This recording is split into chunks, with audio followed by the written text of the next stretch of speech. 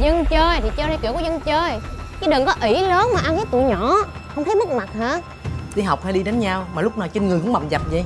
Nó ngoan ngoãn từ bé tới bây giờ. Nó không có dễ dàng hư vậy đâu bà. Chết tụi bay!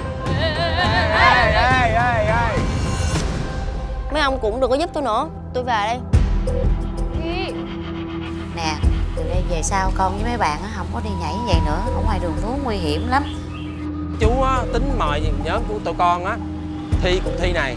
Chú này mới gặp mà mình có biết chú đó là ai đâu mà tính em thấy người đàn ông này cũng khả nghi lắm á. Thế thôi mọi người không tham gia thì thế để tôi tham gia một mình. Không có một tí basic. Nhảy chả có hồn. Vậy mà cũng gọi là nhảy hả?